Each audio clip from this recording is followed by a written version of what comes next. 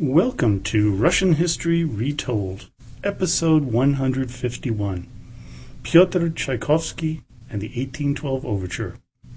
The piece of music that started off today's podcast was by Tchaikovsky, and it's from his Nutcracker Suite, Act 1, Number 4, The Russian Dance.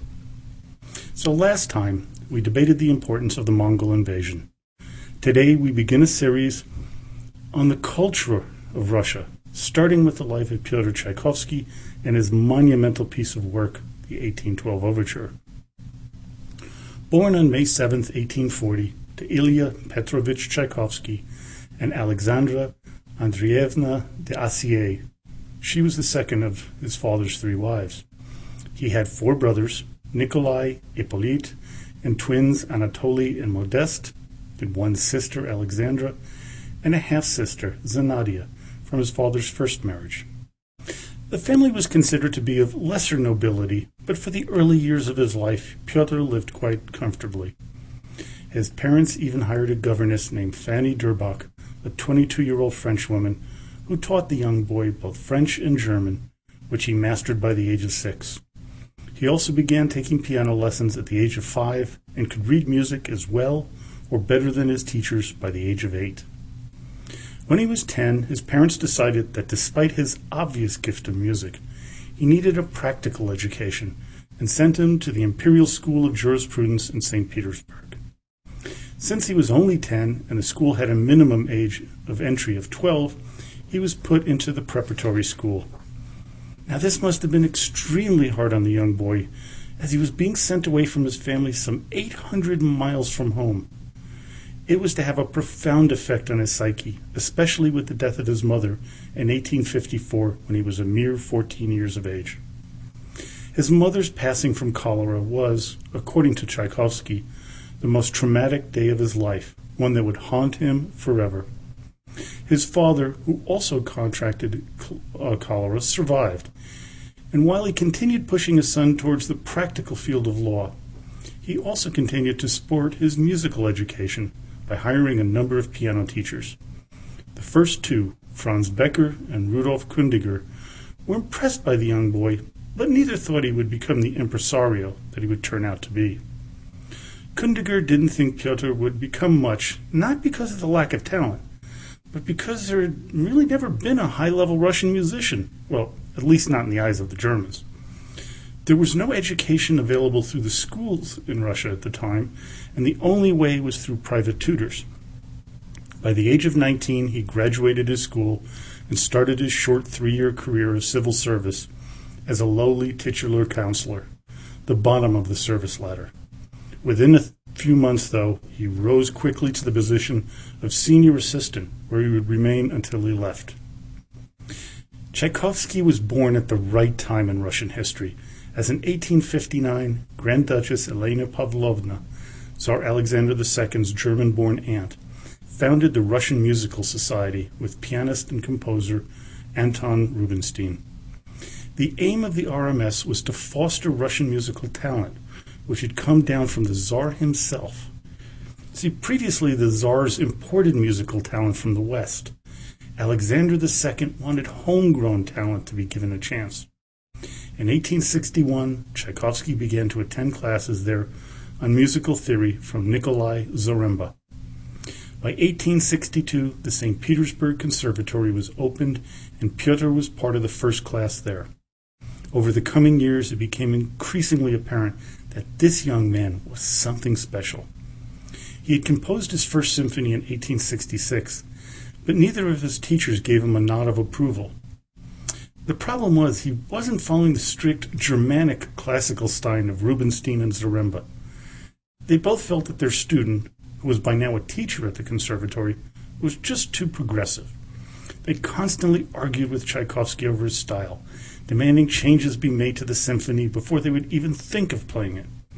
This was to cause the young man great consternation and stressed him out to no end. In February 15, 1868, Anton Rubinstein's brother Nikolai played the symphony, minus many of the changes ordered by Pyotr's mentors, to surprisingly great success in Moscow. While Tchaikovsky really wanted to have it played in St. Petersburg, this was as good as he could get. Because of the obvious talent, Nikolai offered Tchaikovsky the post of professor of music theory at the newly opened Moscow Conservatory. From 1867 to 1878, he dove into his post, which included becoming a critic of music. While there, he showed love for Beethoven, thought that Brahms, eh, he was overrated, and that Wagner's Das Rheingold was, quote, unlikely nonsense, though which, from time to time, sparkle unusually beautiful and astonishing details. But one thing he was most critical of, and that was the state of Russian opera. He was to change this in time. One of the big influences in the progression of Russian music was to take place with the formation of the group known as the Mighty Handful or the Five. Founders of the group included Vladimir Stasov and Mily Balakirev. Included along with Tchaikovsky were Modest Mussorgsky, Nikolai Rimsky-Korsakov, and Alexander Borodin. These men would forever change Russian musical history. This group was to attack the Germanic disciplinary style of the conservatory in Rubinstein. Now, Balakirev was somewhat critical of Tchaikovsky, but when reviewing his work, characteristic dances, he realized his brilliance. Together they worked on Romeo and Juliet, which was the first piece that was considered a Tchaikovsky masterpiece. He had a problem with the five because of what he felt was substandard music and the conservatory and their conservative styles. While remaining friends with many of the members of the two factions, Tchaikovsky decided to become more independent. By this time, Tchaikovsky was famous for his music, but he was not a confident man. Oh, quite the opposite. He was very insecure and had a hard time with criticism. His mentor, Nikolai Rubinstein, was one of his biggest boosters and also his sternest critic, which hurt Tchaikovsky to the core. One of the critiques that caused the most consternation was of the first piano concerto. Rubinstein so disliked it he refused to play it. Instead, another virtuoso, Hans von Bülow, would. Because of his fear and inability to handle criticism, Tchaikovsky would deny the world some of his works, destroying them after a performance. The first was his initial opera, The Voivode, which was based on the play written by Alexander Ostrovsky. A year later, in 1870, he did it again with his piece Undina. The first one that he allowed to make it was the Oprichnik, which opened in 1874. Critics hated it. Mussorgsky panned it, but the Russian people loved it. It is still being performed to this day in Russia. In between all of this composing, teaching, and being a critic, Tchaikovsky the person was a train wreck, mainly because of what he felt was a confused sexuality. Today, we accept the fact that he was gay. Back in his time, this was something that had to stay in private, as he would have been arrested had it been made public. Although he likely wouldn't have been given his celebrity, but the conservative elements within Russia would have certainly shunned him. The Soviets denied all of the rumors of his homosexuality, as did many of his contemporaries. Now, there's really no doubt today, as we have correspondence between him and his brother Modest, who was gay himself, as well as other letters where Tchaikovsky openly discusses his sexuality. Now, strangely, well, not so strangely maybe, if you know what's going on in Russia in today's world, in a movie soon to come out there, they have decided to remove any hint of his homosexuality in order to gain the blessing and funding from the Russian government. So, to further confuse things with Tchaikovsky, in 1877 he decided to marry one of his former students, Antonina Milyukova. It was to prove a total disaster, as they were completely mismatched. They lived together for only two and a half months, but stayed married for the rest of his life. They never divorced. He wrote to his brother Anatoly, quote, There's no doubt that for some months on end I was a bit insane, and only now, when I'm completely recovered, have I learned to relate objectively to everything which I did during my brief insanity. That man who in May took into his head to marry Antonina Ivanovna, who during June wrote a whole opera as though nothing had happened, who in July married, who in September fled from his wife, who in November railed at Rome, and so on. That man wasn't I, but another Pyotr Ilyich. Another woman came into his life, but this time it wasn't romantic. Nadezhda von Meck would become his patron for the next 13 years. She was the widow of a wealthy railroad magnate. At the time, the nouveau riche of the industrialization period of Russia began to spend their newfound wealth on the arts. Tchaikovsky was introduced to Nadezhda by his lover at the time, Iosif Kotek.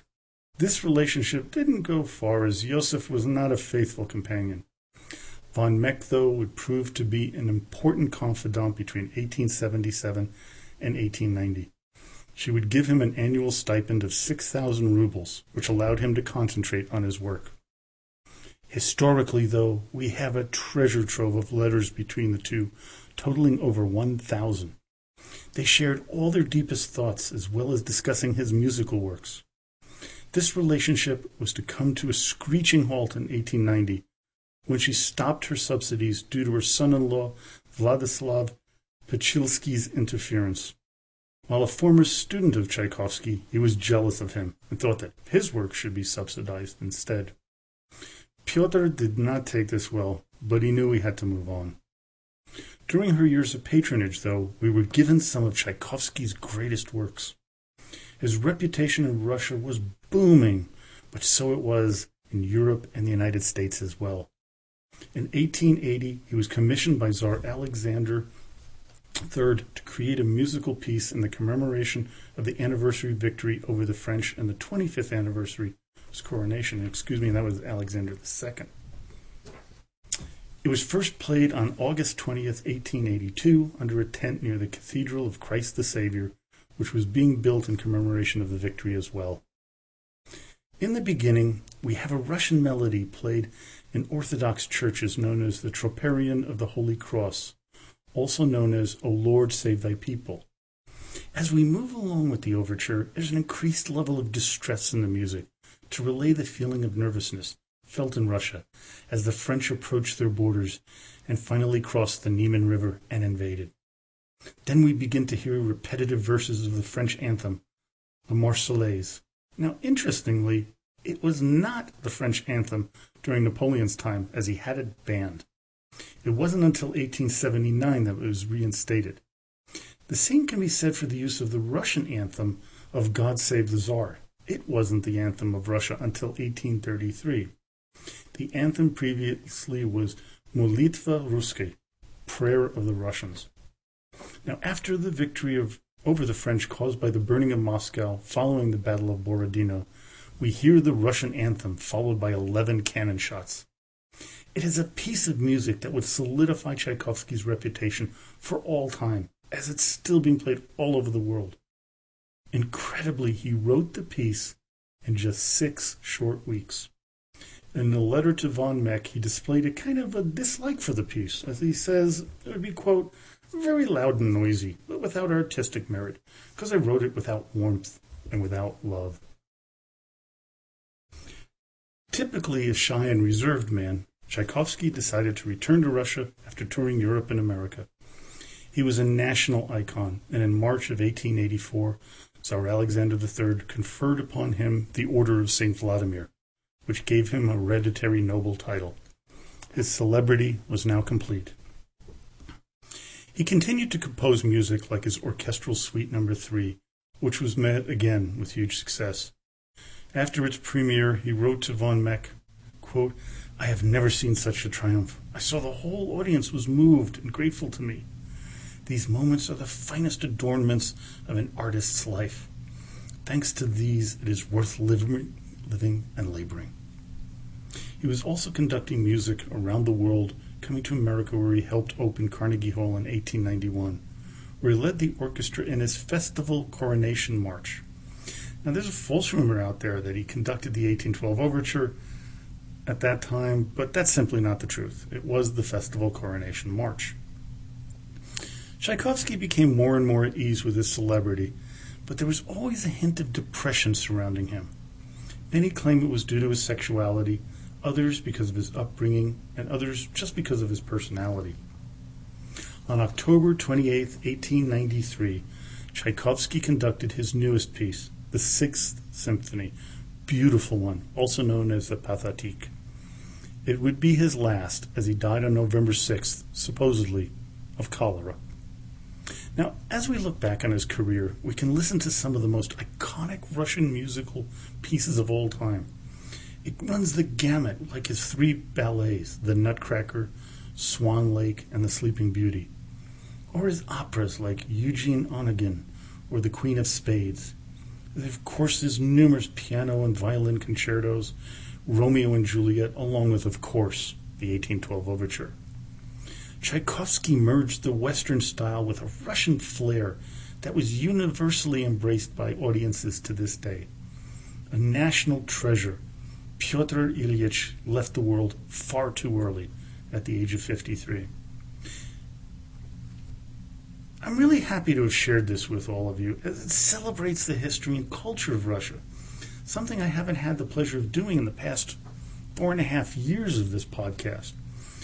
It's, you know, Russian history is so filled with hardships, tragedies, and harshness.